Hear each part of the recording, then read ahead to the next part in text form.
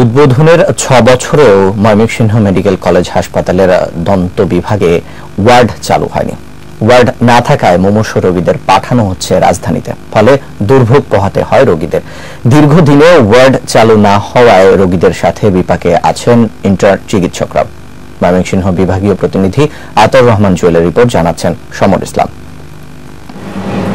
Motorcycle দুর্ঘটনায় মুখের চোয়াল ভেঙে টাঙ্গাইলের মধুপুর থেকে এসেছেন হায়াতুল্লাহ। কিন্তু দন্ত বিভাগের ওয়ার্ড না থাকায় হাসপাতালের বহির বিভাগে অপারেশন শেষে বাড়ি চলে যেতে হয় তাকে। তাই বাবার সাথে প্রতিদিন বাড়ি থেকে এসে ড্রেসিং করাতে হচ্ছে তাকে।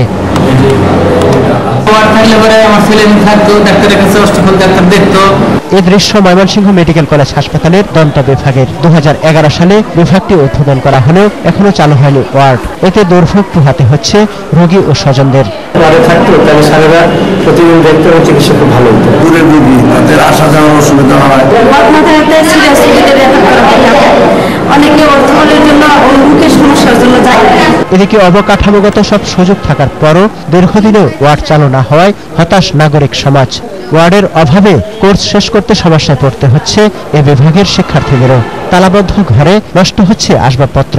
ওখানে আমরা লং টার্ম একটা ফলো যদি পেশেন্টকে আমরা চিকিৎসা দিতে পারতাম তো পেশেন্টকে আমরা কি ট্রিটমেন্ট দিচ্ছি আর তার প্রগনোসিস কীভাবে হইতেছে এটা আমাদের জন্য বেটার ডেন্টাল ওয়ার্ডের জন্য তারা সেবাটা পাচ্ছে আমরা মনে করি অতি দ্রুত ডেন্টাল ওয়ার্ড গড়ে তোলার জন্য এবং এটা চালু করার জন্য নাগরিক আন্দোলনের পক্ষ থেকে আমরা জোর দাবি জানাচ্ছি। এদিকে রোগীদের দুর্ভোগের কথা স্বীকার করে শিগগিরই ওয়ার্ড চালু করার কথা জানায় কর্তৃপক্ষ।